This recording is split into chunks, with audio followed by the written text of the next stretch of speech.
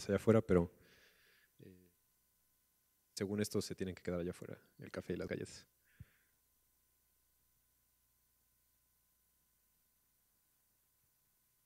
Well, welcome everybody. It's my pleasure uh, to to introduce Francis Helligen, who uh, whom I did my PhD in, in, Brussels. Uh, he's a re research professor, professor at the Free University of Brussels, at the Dutch-speaking uh, university.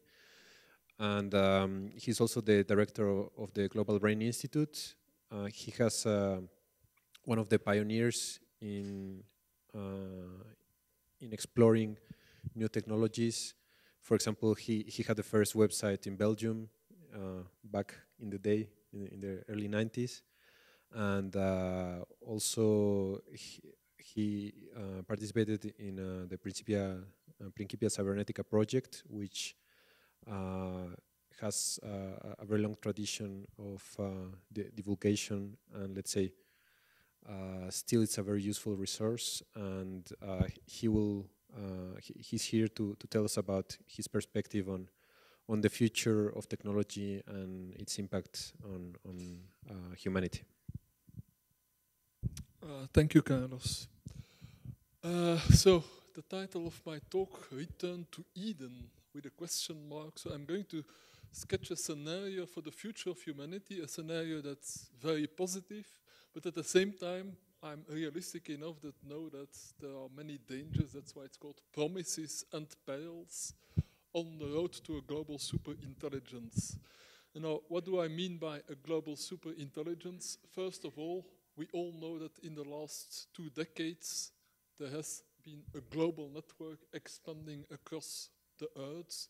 The internet has reached practically every part of the world and it's doing more and more things, connecting more and more people, connecting more and more machines, technologies, computers, robots, cameras, etc.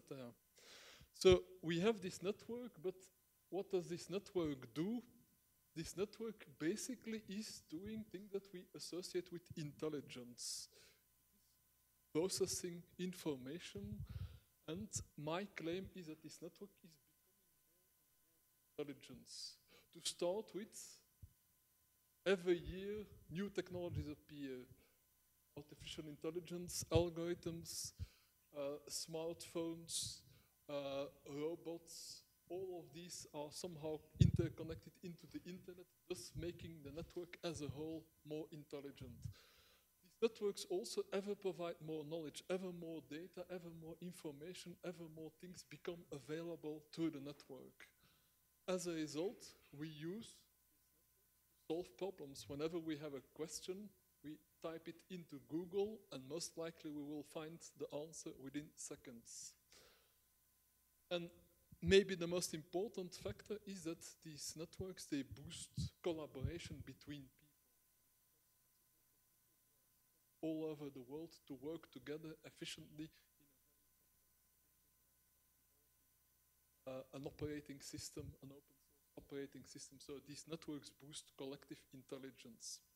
So if you take all that together, you see that this network is not just a network of cables and wireless links, It is something that is starting to behave like a nervous system for the planet Earth. That's to say, a system that interconnects the different parts so that they can work together intelligently coordinated way. And I call this intelligent global network, I call it the global brain. That's not a term I have invented, but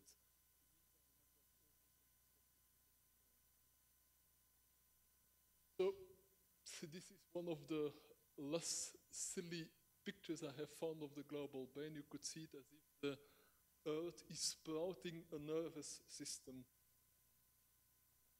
Now, what I would like to understand is what's going to happen in the future.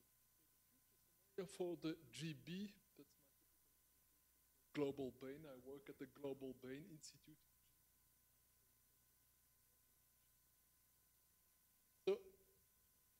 Many people have noticed this idea that technology is advancing, technology is producing ever more intelligent computers. So there have been several attempts to describe the ultimate effect of this explosion in intelligence. So the first idea is simply the intelligence explosion. That is, that once you have an intelligent technology, the more intelligent it is, the easier find solutions, the easier it will design new, better technologies. But in other words, intelligence is a self-amplifying phenomenon. Intelligence explosion, some other people have uh, formulated in terms of what is called the singularity. You see technological uh, development accelerating faster and faster, and at a certain moment, it's as if it's going to reach infinity. You come to a singular point in the sense of a mathematical singularity. And finally, a concept I have worked uh, much with in the Principia Cybernetica project, that's the concept of a meta-system transition. You have a lot of independent systems, they become integrated to this network, and at a certain moment, you see the emergence of a new level of organization, like the transition from a single cell organism to a multicellular organism. So these are interesting concepts to try to get an idea of what's going to happen if this intelligence explosion continues, but very abstract, they don't what will society be what I have been looking for in this presentation is a more concrete and more intuitive. In order to understand what the growth of intelligence will mean, I first have to define what is intelligence. And first I want to say what I'm not speaking about. People in artificial intelligence especially tend to equate intelligence as the ability for logical reasoning, for computing, they're all very abstract, high-level activities. I'm looking at intelligence at a lower level. I'm looking at the intelligence of animals, of plants, even of bacteria. Even bacteria have a kind of intelligence. And then I'm seeing what is intelligence? It's not abstract reasoning using logical deductions.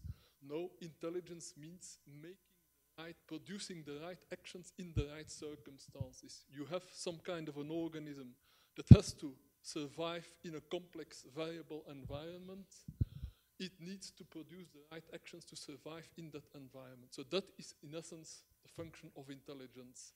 If we subdivide it in the different stages, we see that there is an input stage. The organism needs to get information about the environment, so it needs to mo monitor the environment. It needs to recognize potential challenges. A challenge can be a problem, something negative, but it can also be something positive, an opportunity. Next stage, it needs to process that information it has collected and it needs to interpret it in terms of what am I going to do about those challenges. So it should select and plan the right actions. Finally, output, it needs to perform the actions and perform them in the correct coordinated way. And then, as always in a cybernetic system, you have a feedback stage when the action is performed, the environment changes, the organism has to monitor whether it has changed in the right way. If not, it needs to make corrections, it needs to learn from its mistakes. So now back to the level of intelligence at the global level, at the planetary level. The global brain is the nervous system of what I call the global superorganism. So a superorganism is an organism that consists itself of organisms. Like a super system is a system of systems. This superorganism consists of all the people on this planet, all the technologies they use, which basically are extensions of their bodies and their minds, and to some degree the ecosystems that are controlled by people. I speak particularly about agriculture, where we have plants just because people are controlling them. So this is the superorganism. The global brain is the nervous system of this superorganism. And that means that the intelligence of this global brain should be there to maximize the fitness of this superorganism. It should be telling the superorganism actions to perform in which circumstances. Now we are speaking about the evolution of this global brain. And that means that generally there will be a trend towards progress. Better developments will be selected, worse ones will eliminate it. What do we mean by improvement of this intelligence? Well, we can look at what kind of attributes would you like a global intelligence to have? And, well, obviously, the more widely available, the better.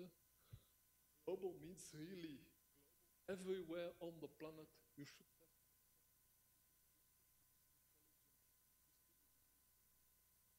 A second attribute, obviously for an intelligence, you would want it to have a lot of knowledge. You would want it to be able to answer any question. The more knowledgeable, the better. We have said that intelligence is especially about performing actions, so the actions it performs should also be powerful and effective. Finally, you would like this intelligence to do perform planet and for the global superorganism. So you want them to be beneficent, to be positive, to be well intended.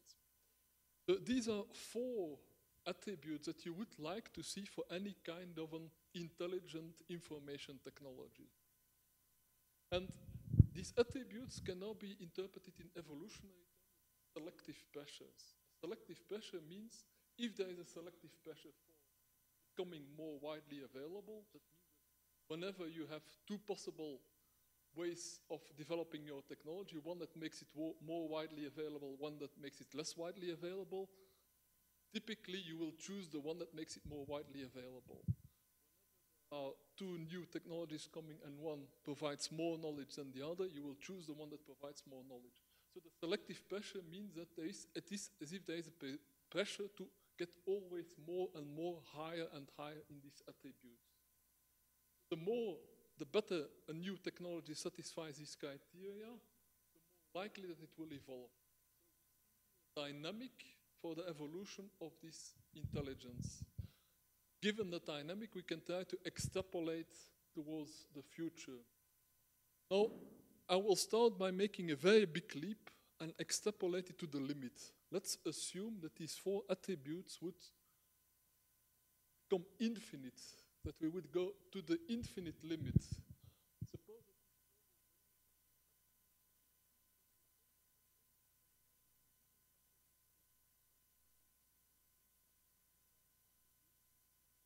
First one everybody will have heard about is omniscience. God is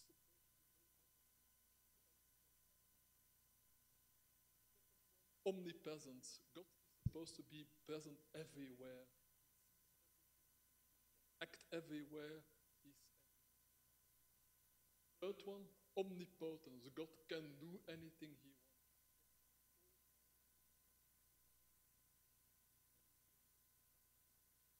Last one, which is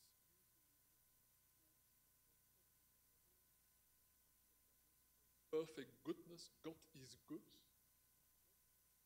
perfectly moral, will not harm anybody, wants to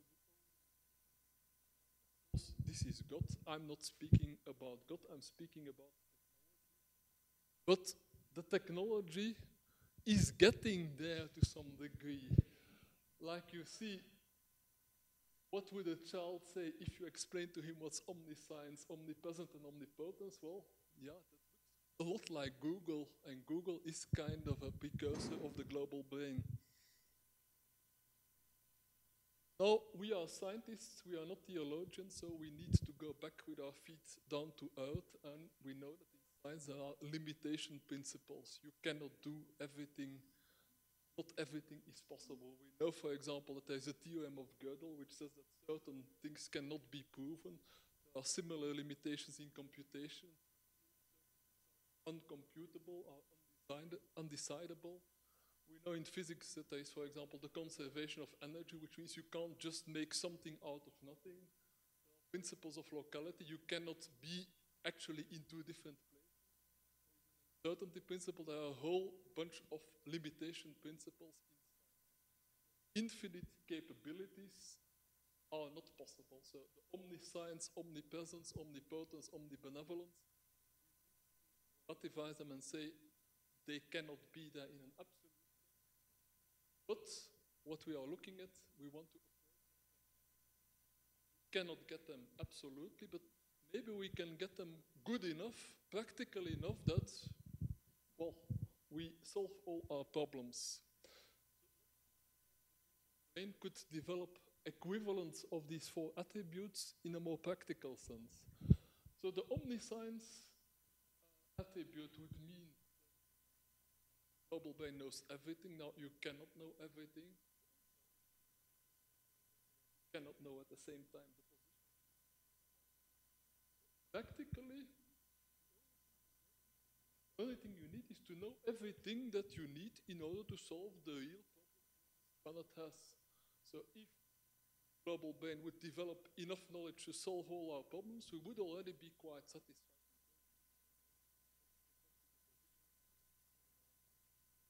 And we are getting there. Technologically, there are several steps towards this omniscience attribute. For example, Wikipedia, the electronic encyclopedia, which is being read and written by millions of people on the world, starting to assemble the whole of human knowledge. It's not yet there, but it's getting there. And in 20 years, probably about every theory or fact that is worth knowing Wikipedia is meant for humans. You have to be able to read and understand. I Like to have this knowledge available for computers. That's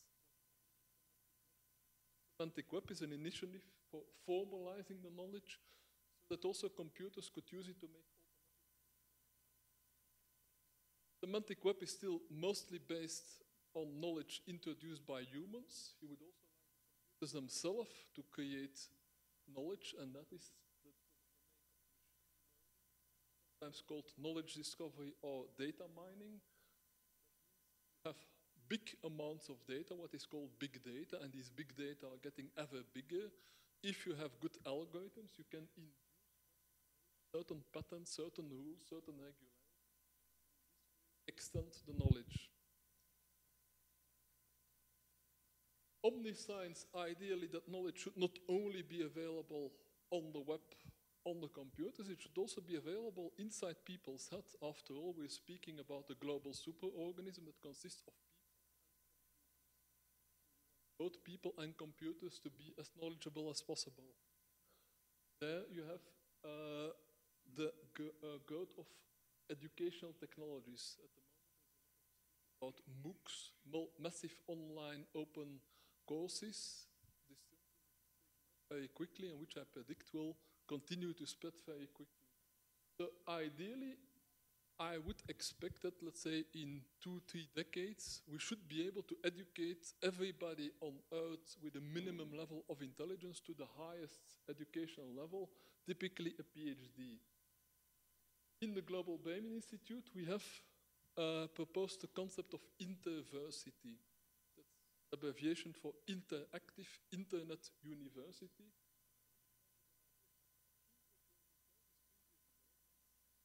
Uh, MOOCs, Wikipedia, in order to have one kind of common depository of knowledge where everybody can contribute in order to uh, both learn the knowledge that's there, add to the knowledge that's there, improve the knowledge.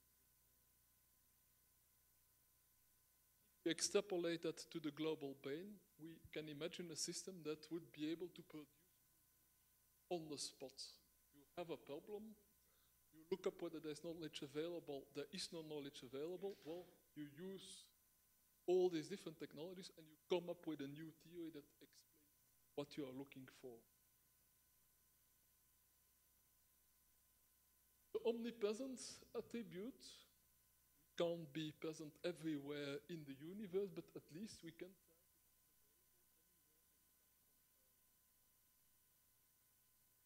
available means the global brain should sense what is happening, and it should be able, if necessary,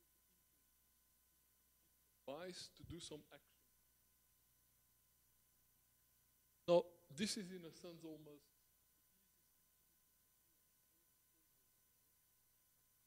most people by now have smartphones wireless networks via their smartphones. They are connected to the internet. That means whenever they have a question, they can type it. Probably will get an answer. Whenever they need to do something in a place but they are not there, they can send, they can phone somebody there, or they can send a message to some system there to tell that this should happen. Smartphones, you still need to start it up and to look at it. Next stage are called wearable computers example, are the Google glasses. You wear the glasses, you don't need to switch it on or off. It's always there. The Google glasses provide what is called augmented reality. The glass is the real world, but on top of the real world, you get the information you might want. You look at a particular building, and below on your glasses, you see this is the cathedral of that, uh, designed by this architect in this year, and it gives you more information. So we get to a stage where wherever we are, we have access to this global brain of all possible knowledge. There's a different type of uh, omnipresent, that is that the global brain should not just be present for the people that need it, it will also be present in things. And then we come to the concept of the Internet of Things. The Internet of Things communication protocol with which physical objects get an internet address and can communicate via the internet protocol. That's done by RFID tags or more sophisticated wireless sensors so that if you want to know, for example, where your car is parked, you send a signal and the car tells you where it is. Or if you want to know whether you still have enough fuel, the car will tell you that it needs fuel. Very useful in industrial um, processes because you can keep track of where everything is and in which state. Combine these things, the intelligence. We are surrounded by devices. These devices have inbuilt processors. They can communicate wirelessly with us and with the rest of the world. And they have enough intelligence inbuilt in the sense that they can respond to our desires without us even having to ask. An example of ambient intelligence would be go to your university building at night, you don't need to do anything, come in front of the door, it recognizes you, it opens the door, wherever you go, the door's open for you, the lights switch on, maybe some music begins to play, behind you, the lights switch off, the doors close, you don't need to anything, the environment responds directly to your needs. Another important um, mesh networks, these are networks that are not so much based on lots of small sensors that communicate with each other locally, and that means that they work in practically any circumstances. You might have an explosion in a mesh network, you would still have wireless. Then the omnipotence. Omnipotence in the absolute sense, all kind of paradoxes. You have the paradox like can God make a stone that is so heavy that he himself cannot lift it? God would be omnipotent, he should be able to make such a stone, but if he makes such a stone and he cannot lift it, then he is not omnipotent. Again, to go to a practical view of omnipotence. Whenever I need some product or some service, I should be able to get it immediately at the minimal cost. Technological implementation, something that already exists now, are 3D printers. Any objects builds up the object layer by layer. In order to build such an object, it needs to have a blueprint. Where does the blueprint come from? Where some people or group of people or maybe artificial intelligences have designed that object predicted that in uh, 10 to 20 years, everybody will have a 3D printer cars, computers, or television. Imagine a world where whenever you need something, just search on the web for the design.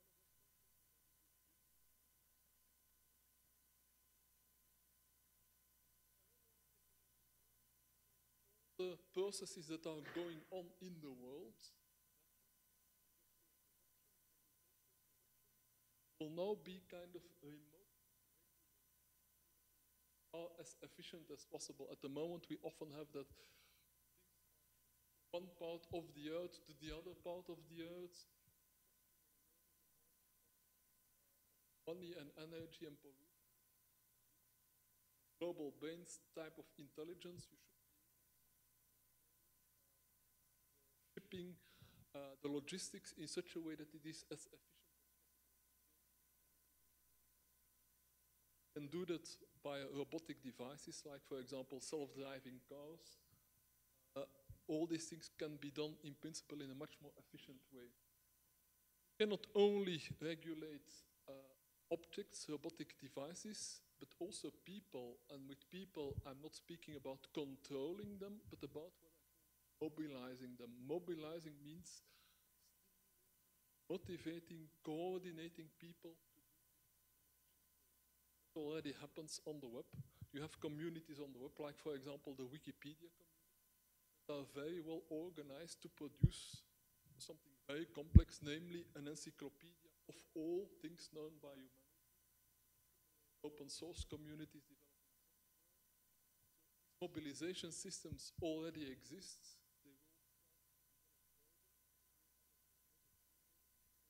Coordinated and motivated to work very efficiently.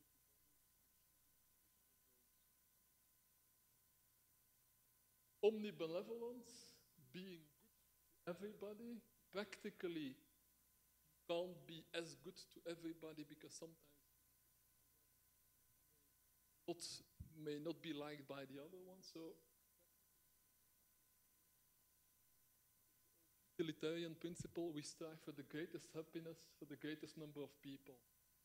Technological implementation, well, first we should agree about what it is that makes people happy. We need to align our goals and values. There already exist systems for discussion, and in fact, the alignment of values is not as difficult as it seems. Cultures between, for example, in fact, things like the universe all countries in principle.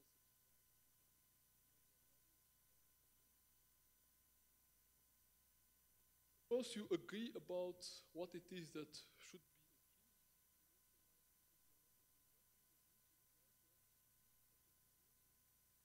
that learns to do the things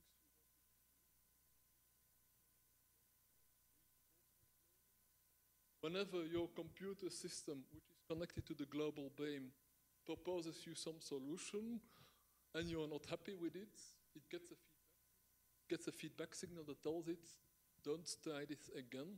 If on the other hand you are happy with it, all of this. And if we build in this reinforcement learning in all the systems we use, method to teach the global brain to make it. Another aspect of goodness is that you eliminate conflicts, conflicts and competitions, and you do that by, in a competition, you typically have a win-lose situation. One guy wins, the other one loses, what is called some game in economics. Ideally, you would have a positive sum game, a game where everybody and practically all interactions, it is possible to find such a synergetic win-win interaction, but it's not trivial through the intelligence of the global brain, you can explore many, many more possibilities of interaction. It becomes much easier to find this win-win Finally, that's about boosting the positive sides. You also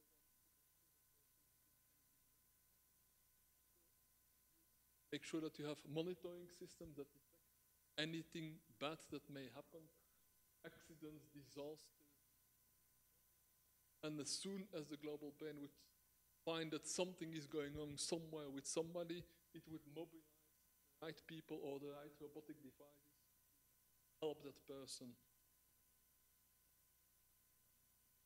When I speak about omnibenevolence, it's always the most controversial part of my theory because people have this kind of cliche in their mind that they have seen in numerous Terminator and the Matrix artificial intelligences are intrinsically dangerous and that robots will take over the earth and enslave or, or destroy humanity. The question is, yes, but you speak about incredibly intelligent technological system. Wouldn't it just want to take control of the planet and get rid of humanity altogether? Now, my answer is the global brain is not a technological system. It is the whole of humanity extended by technology. So humans and technology are both part of it. They complement each other. Not autonomous in the sense that it can make decisions independently.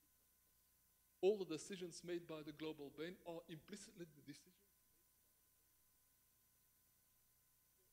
Humans are essential components of it. Artificial intelligence. Singularity theorists who think about kind of an artificial intelligence much smarter than humans. It doesn't work because you need a value system to make decisions in. Value systems are much our value systems cannot say you should do this. Whatever rule you formulate, there will be exceptions.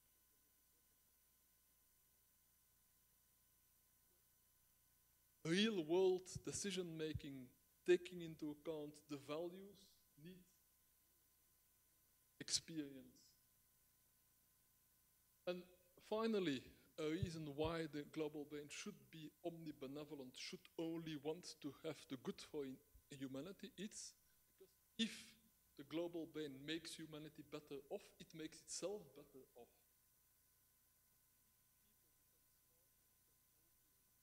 Become uh, more sociable, become more cooperative, then the global brain itself will become better, will be whatsoever why, the global brain would want to get life difficult. Abstractly, there is an overall drive in evolution towards synergy and cooperation. That's the same principle I spoke about with the zero-sum game. The zero-sum game is a default, but if there is a positive sum game available in some kind of configuration, sooner or later, evolution will find this positive sum game, which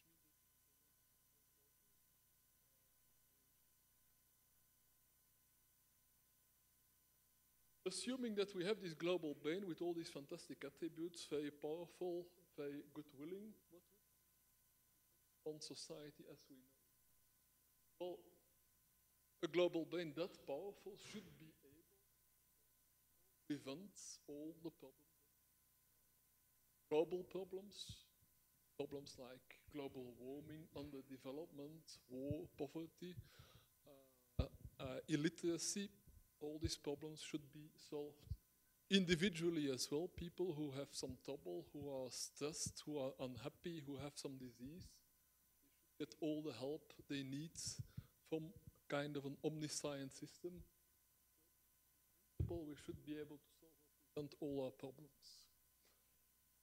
We will also get an abundance of resources. This omnipotence attitude is basically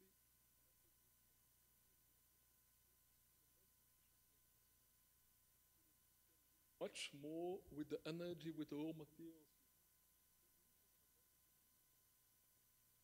A 3D printer, for example, will just add the matter at the place where it is needed.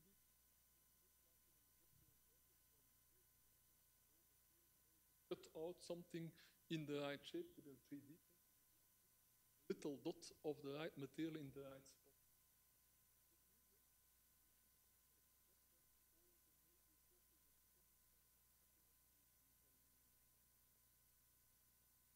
And how would we call such a society where all the major problems are solved? Paradise or heaven or utopia. The term I prefer is the term. The Bible, there is the Garden of Eden myth in which Adam and Eve lived before they fell from grace, but it's not typically a biblical idea. In several mythologies and religions, there is the idea of a kind of a golden age. Arcadia, a kind of land where people could live uh, very easily, very happily, without having to worry, without having to work hard. They could just play and they had everything they needed. Now that seems maybe too good to be true. It seems one of those exaggerations that they make in uh, mythologies, but ask anthropologists who have been studying hunter-gatherers, so the primitive tribes that kind of more or less lived the way our ancestors lived uh, more than 10,000 years ago, they notice that these hunter-gatherers actually have a life that quite resembles this. These hunter-gatherers don't have to work much. They work about four to five hours a day. They do a lot of play. They amuse themselves. They have a population densities are small. They live in environments where they can get everything they need. That's in part because they don't have big just need enough material to build a hut, to make some tools and enough food, and with that they are apparently happy. Imagine the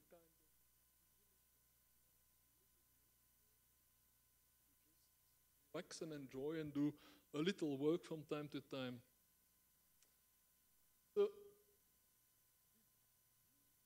I call it the new Eden It's a utopian vision, but I hope I have shown with the global. Global brain recreates the abundance, much more efficient technology.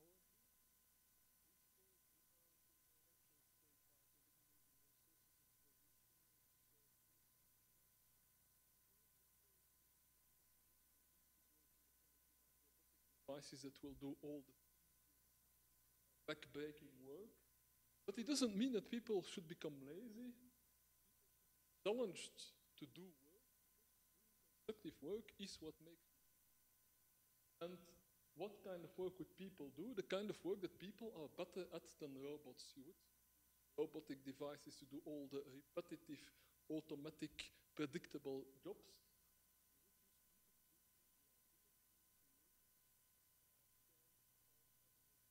All gathering experience, gathering wisdom, experience, collaborating with others. So the picture I sketched is a very beautiful picture, but of course we need to be realistic. Ask, is this really going to happen? What are the perils on the road to this Edenic vision? Yes, dangers there are definitely. Because there is a development of technology. Technology generally becomes more powerful, it becomes more intelligent, It tends to satisfy more needs, but technology we know has positive and negative effects. And the problem is that we don't always know what these effects will, will be. We can introduce a technology with best intentions and then negative side effects much worse than the things. Why is it so difficult to discover and learn to manage technology? First, have bounded rationality, cannot foresee everything. Are emotional, they tend to be biased, they tend to be blind. Often misjudge the effects of. Second thing is that all the technologies interact with each other and with the people that use it. So you get typically non-linear, which means that as complexity scientists should know, it can self-amplifying runaway effects. So the conclusion is, for these technologies I've been speaking about, in the longer term, in theory, they should be beneficial for humanity, but shorter term, there are quite some dangers. So let me go over some of what I consider to be the most important dangers. First one is called in uh, complexity, complex systems theory cascading failures. And the idea is that if you have systems in a network where the one depends on the other, and one of those systems breaks down and the other depends on the one that has broken down, well, then the others are likely also to break down. And like that, the breakdown propagates and spreads. So, two good examples. The financial crisis a few years ago, it started with some banks going bankrupt, but that means that those banks couldn't repay their debts to other banks. that brought these other banks also in trouble, which meant that they couldn't repay their, their debts to even other banks, which brought these banks in trouble. And if it hadn't been for a massive state intervention, the whole banking sector would have collapsed. We get similar effects with electrical networks. Sometimes a particular power plant or particular line gets overloaded because of too much demand. That power line is then switched off in order not to let it burn too. But that means that now more electricity goes via other lines, which now also tend to get overloaded. And what you get is that a whole continent or half of a continent where all the electricity stops.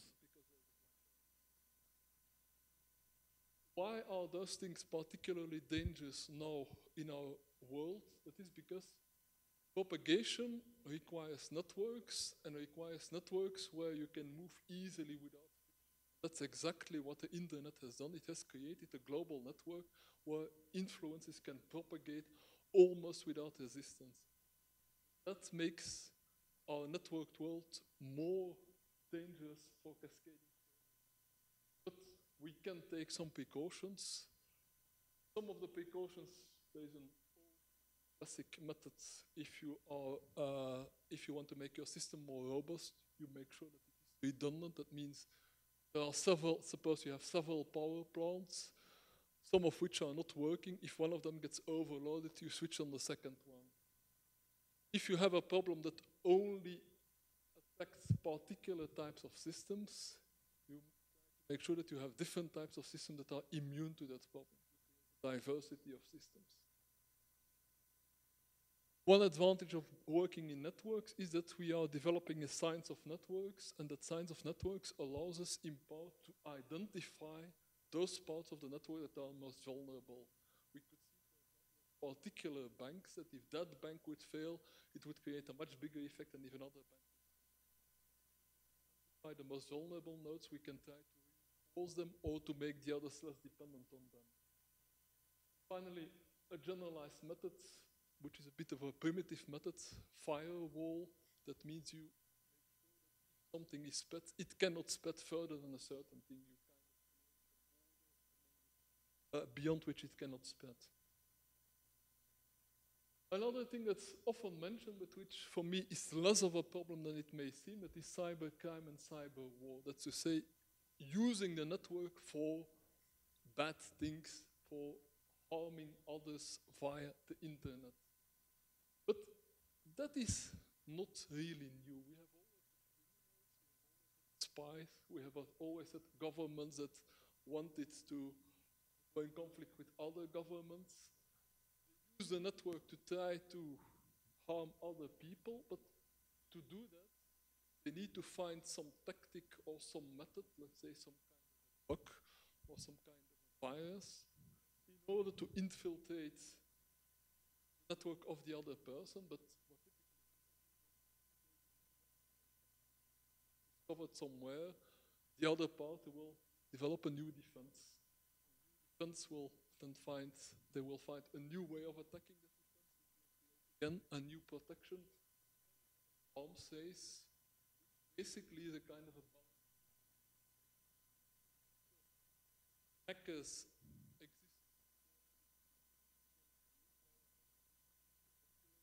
basically, no catastrophes have happened. Start with, we're speaking here about the internet, which is a network of information. Directly kill or hurt people. You could imagine that if the internet would be used for a major war, that it might destroy essential systems. Suppose that one country via the internet would create a bug that stops the electricity networks in another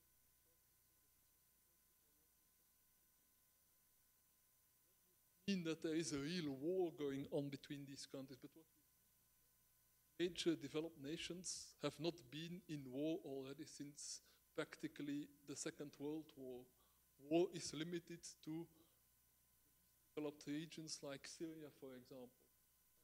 There is a good reason for that, that is that major nations cannot afford to damage each other. Suppose that China would create cyber attack to the US, and the US economy would collapse as a result, well, then the US would no longer be, be buying things from China and the, Chi- and the Chinese economy would also collapse.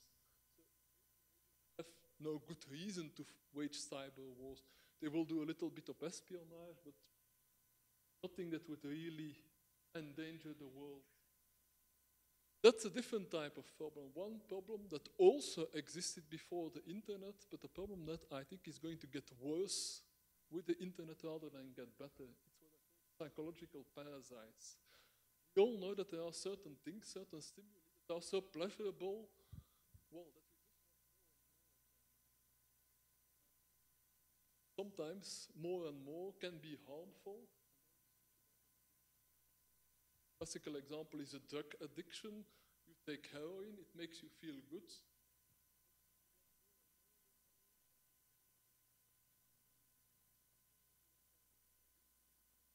Uh, sex, junk food, gambling. Oh, recently we see something new. Cyber addiction, which is an addiction to various types of electronic devices and particularly devices connected to the internet. Computer games is a classical example. People uh, in which a couple of Koreans were playing so long uh, a computer game that they forgot about their baby and their baby died. There have been other cases where Chinese students forgot to eat and also died playing a game. So are not really so innocent as they look. Social media like Facebook, smartphones, these addictions may be less spectacular at first sight, but I think they create a lot of stress and they make people waste a lot of the energy that they would better. Why is this becoming more dangerous? Because interfaces of our smartphones, of our websites become better, more attractive, more interesting. Therefore, we are more inclined to use them more and more. Addiction danger increases. More detail about how these uh, can become addictive. I see three are particularly powerful to make people want to do the same thing again and again. Flow is a kind of state in which you get if you are in an activity that is so pleasurable that you want to continue it again and again. It's typically an activity where you need to get uh, get ever higher goals and you get constant feedback. Flow is typically what you get in a computer.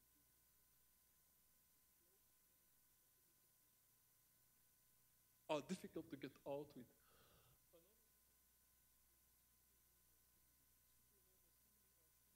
Stronger than what you would expect in nature, and that is because our brain does not so much absolute strength of a stimulus, relative strength. Whenever you see different things, you will tend to pay attention to the one that is strongest and is most intense. So if there are different noises, you tend to pay attention to the loudest noise. If there are different lights, you tend to pay attention to the strongest light. Exploited by all kind of media, for example in publicity. Junk food contains abnormally high amounts of sugar, fat, and salt. Because of that, it's more attractive, but it's also less healthy. Movies tend to have ever more extreme special effects and violence. That makes them more interesting, but because of that, we want more and more. And the final mechanism is what I call mind viruses. That's a meme is an idea that is being transmitted from person to person. Some of these memes are kind of self-reinforcing. They will convince people of all kind of irrational ideas, superstitions, fundamentalist ideologies. Also, these things can spread very easily via the internet. Next problem, loss of human abilities. That's intrinsic to the idea of technological progress. Technology is meant to make life easier, that means when life becomes easier, we need to put in less effort, less mental effort or less physical effort. But then you get the principle that's known as use it or lose it. If you don't use your abilities, after a while they will disappear. If you only take on easy challenges, your abilities will no longer be trained. If they are weaker, you will tend to avoid even the easy challenges and only choose even easier challenges. You will abilities even less, they will become even weaker. There's a kind of a vicious cycle where at the end you become weak and fragile and you can't do anything. The body. Some other components of the loss of human abilities that, well, our modern lifestyle is getting farther and farther away from what our body was made for. Our body evolved in a particular environment. For example, we were walking outside in the, in the things are disappearing. If everybody's sitting at home uh, playing a computer game, you lose these. Moreover, you tend to replace the natural food by junk food, by drugs, by maybe toxins you inhale by uh, by, uh, radi uh, by radiation, by toxins. All of these make that people at the moment are not so healthy as they should be, particularly in things like the obesity epidemic. Uh, I have recently spoken, spoken with one sociology specialist in aging. Life expectancy has already gone down because of obesity. He had predicted that uh, five years ago that it might go down. He said that according to his latest data, it has actually go, gone down, which is an extremely exceptional event. Life expectancy goes down. Normally, because of medicine, life expectancy always goes up. But here we see that there is really a danger of life expectancy and health going down. Particularly vulnerable are the lower classes, by which I mean the people with a low level of education, are poor, they tend to have a more unhealthy lifestyle, they tend to eat less, avoid intellectual challenges. For them, the danger is even greater. General degradation of our health.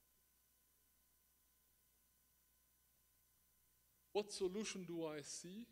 I spoke already about mobilization systems, ICT systems that encourage, coordinate people to do actions that are beneficial. In this case, there are already a number, for example, there are apps on your smartphone that exercise or eat healthy foods eventually should be able to deal uh, with.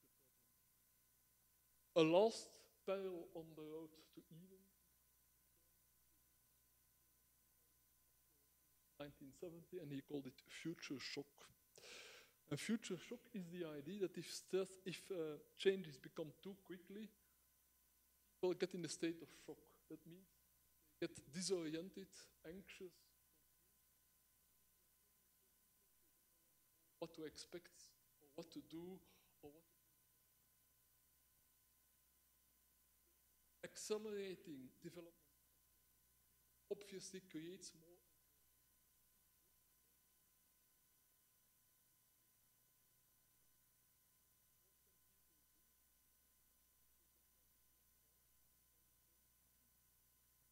counter-reaction what you do, backlash, you try to go back to how it used to be in the good Bad things which by now have been eliminated.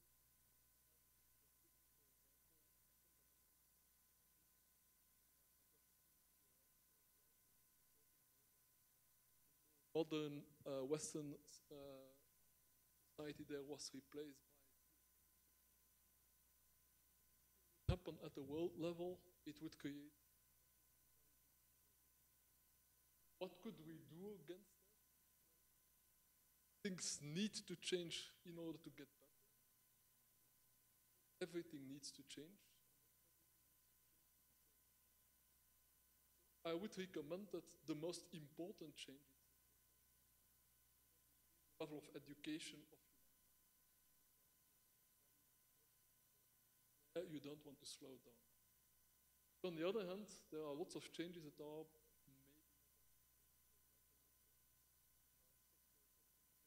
change the interface functions are supposedly a better product,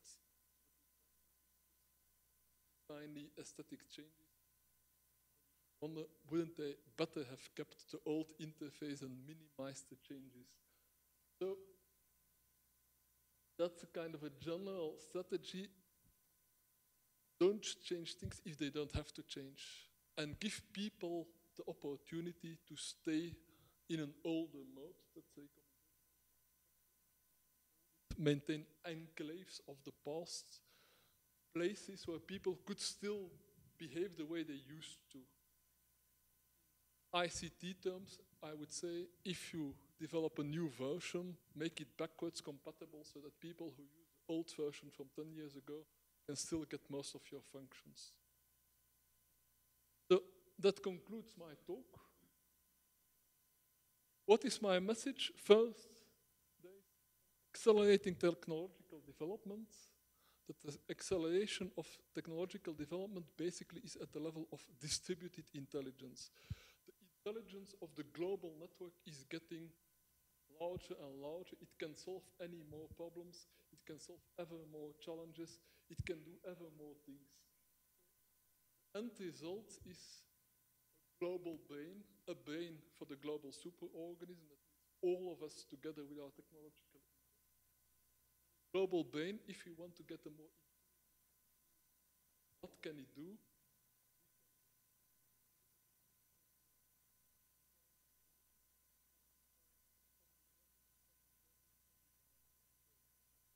know everything it needs to know, available wherever and whenever you need it, would be able to produce any product or any service that you may need, and it would be universally well intended. It would always help, never harm.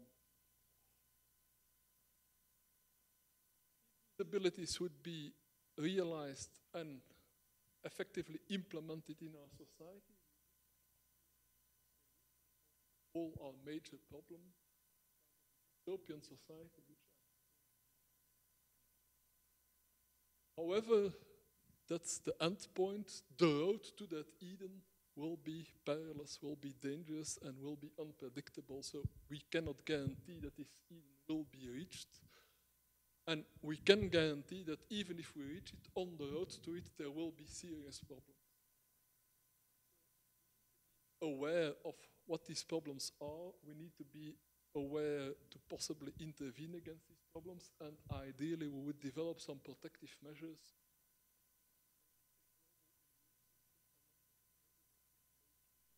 the, uh, these dangers less uh, dangerous. My conclusion, I thank you for your attention.